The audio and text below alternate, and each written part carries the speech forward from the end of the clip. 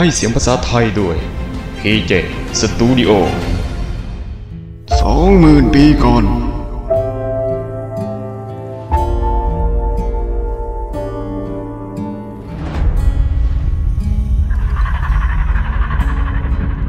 พ่อของผมเคยบอกไว้เสมอ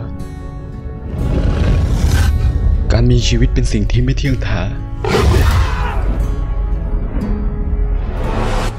และเมื่อเราไม่มีผู้นำ เราต้องยืนหยัดด้วยตนเอง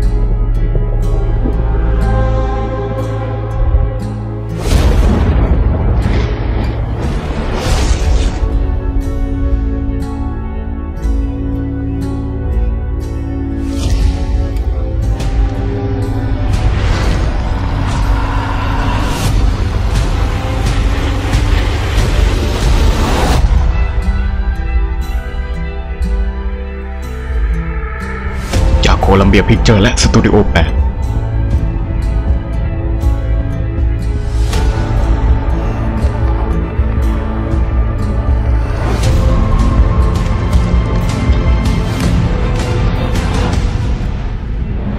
จากศัตรูกลายเป็นมิตร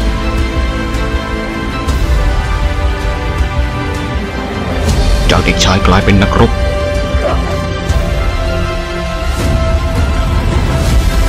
รวมกันต่อสู้เพื่อความอยู่รอด